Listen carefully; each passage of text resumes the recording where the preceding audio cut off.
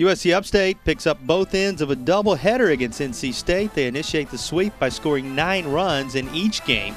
In game two, it was a 9 0 shutout. Behind the solid work of Lexi Schubert inside the circle, take a look back at the highlights from the 9 0 win in game two. Well, another big innings uh, in game one, and this was Carla Beasley got things going. And tell you, you talked about Schubert. She was outstanding again. It was five innings, two hits, no runs, three K and a walk. And about defense as well. Turned that DP, which was big at that point. Well, that's part of what Lexi Schubert was able to accomplish.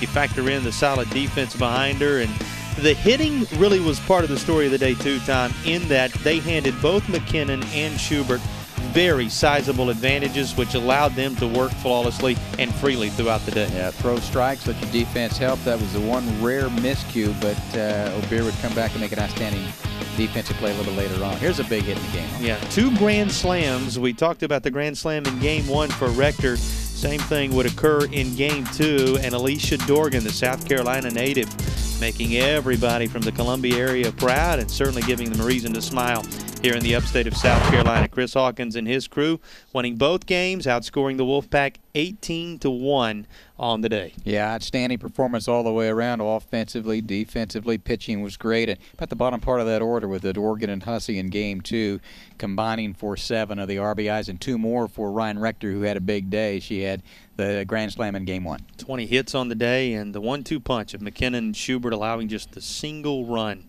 across the 10 innings that. Spartans back in action. A-Sun play begins this weekend against the Lipscomb Bisons. All that will be on ESPN3.